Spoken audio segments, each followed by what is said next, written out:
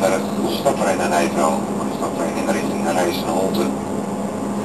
De eerste trein zelf rijdt snel nog verder door als gecombineerde intercity in de richting Deventer, Apeldoorn, Amersfoort, Utrecht, naar Utrecht, een deel van Rotterdam en een deel van de richting Den Haag. Maar nu rijdt